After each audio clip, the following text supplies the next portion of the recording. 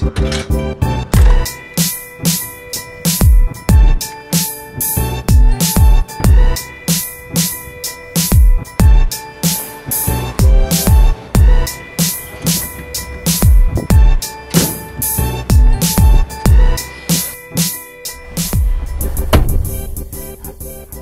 you guys ever have someone else driving your car? It's especially awkward when their legs are incredibly small. Very rude. Sorry.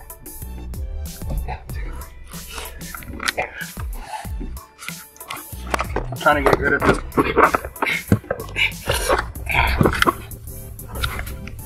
Here's us. I'm, I'm saying, I love watching those YouTubers, um, like TJ Hunt and those guys, when they get in the car and they slide the camera through the steering wheel onto the, the area where the speedometer and everything is, and it's just so smooth. But uh, doesn't work on mine, so we're doing this. So yeah, it's my birthday today. Uh, leveled up to 32, um, and we figured, seeing as I'm you know, getting a little bit more on in years now, uh, we'd go do something a little bit more uh, my new speed. So we're gonna go to Kirstenbosch Botanical Gardens in Cape Town, and we're gonna look at pretty flowers and the pretty pony, and we're gonna do just There's great no things. There's no ponies. Where can we go see ponies? Uh, it's No, 32, no, not 2. no pretty ponies. Okay, but you're again. We'll see you guys at Kirstenbosch. Okay, rad. So, made it to Kirstenbosch. Um, obviously, being Cape Town, South Africa, COVID at the moment, we have to wear masks. But um, there's the beautiful Table Mountain and my dirty car.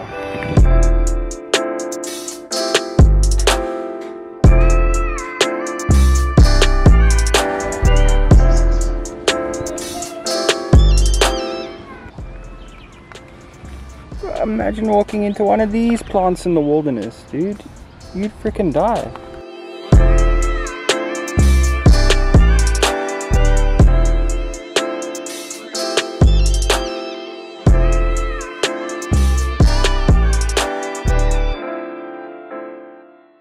Bruh, I do not think that this is drinking water, my guy. Hello? So I'm gonna take a risk and just lower my mask a bit, but we're in the botanical gardens called Kirstenbosch in Haytham.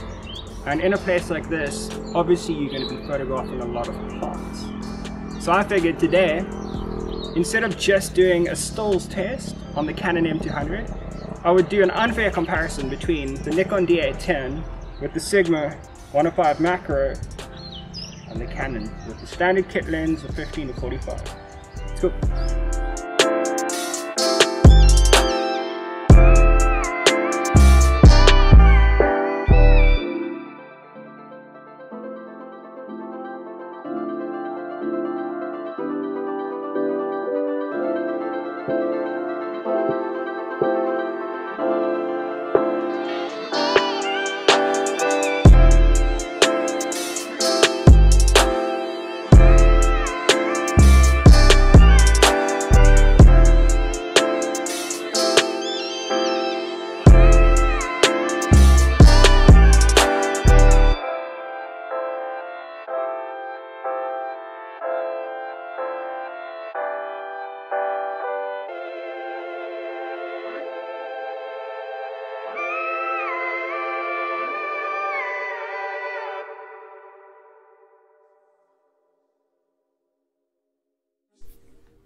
Okay, so this will be my final wrap up of my personal hands on experience with the Canon M200.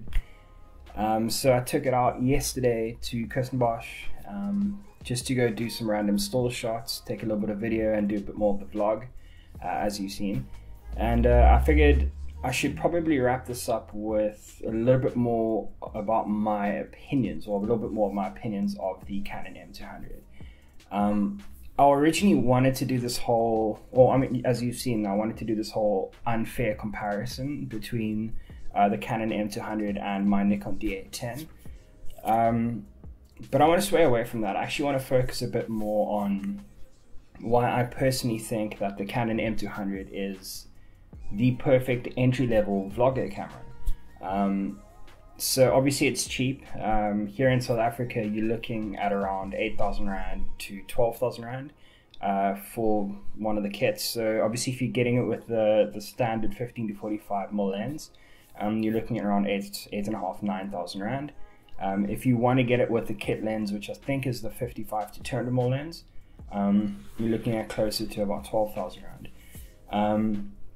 Personally, for me, I went for just the standard 1545 kit because I already have all the other gear that I need for stills.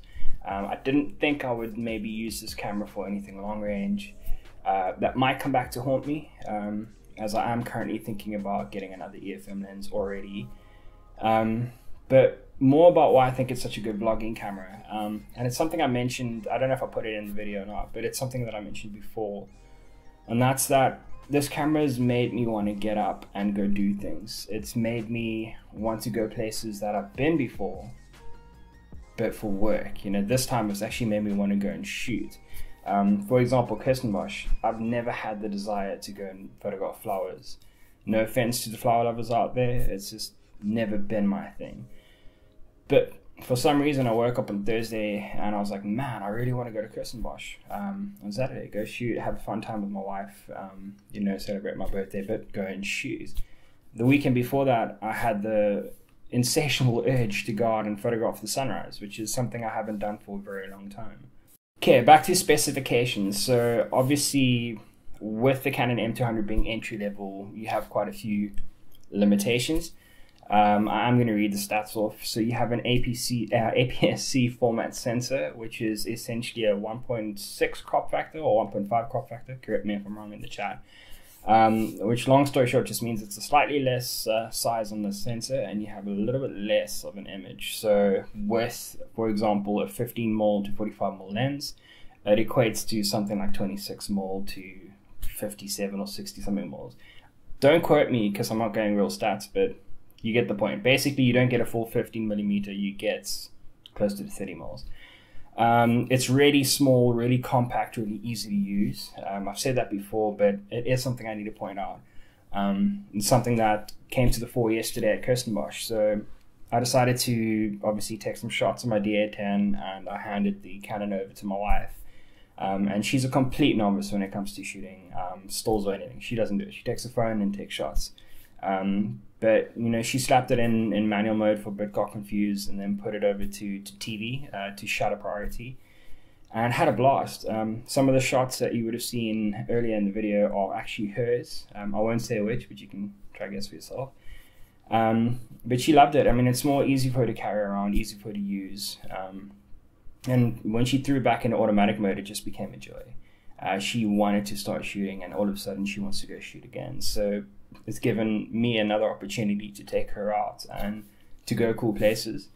Um, other than that, it's got 4K movie capability. Um, if you're shooting in 4K, obviously you're going to have an, an increased crop. So you're going to have an additional crop over and above uh, the original APS-C crop.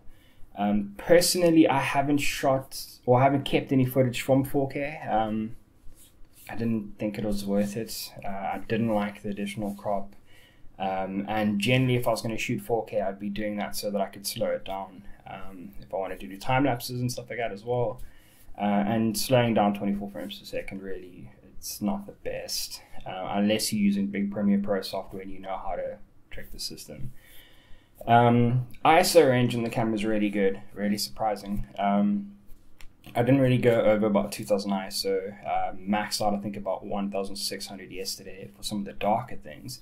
Um, but it handles it really well. Um, and obviously, because it's got a smaller sensor and it hasn't got as many uh, megapixels, it's only got 24.1 megapixels effective.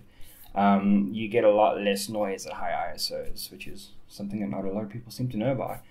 Um, also, shutter speed wise, um, you can take it up to about 4,000 of a second, uh, one four thousandth of a second, sorry. And I did that once or twice yesterday. Uh, there was a shot with these like purple flowers uh, where I managed to almost completely darken out the background. Um, that was just one four thousandth of a second at like ISO 100.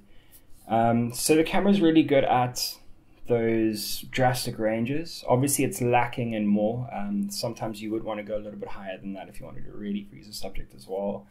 Um, but other than that, I think if you're going to be using this for, you know, a camera that you can put on, get out the car, go walk around, you know, go take vlogs of your city or of the attractions around you, fantastic. You know, you can honestly leave it in automatic mode um, and just start shooting. Easy as that. There are a few um, issues with it, I guess. Uh, it's not really issues, everyone knows about this stuff.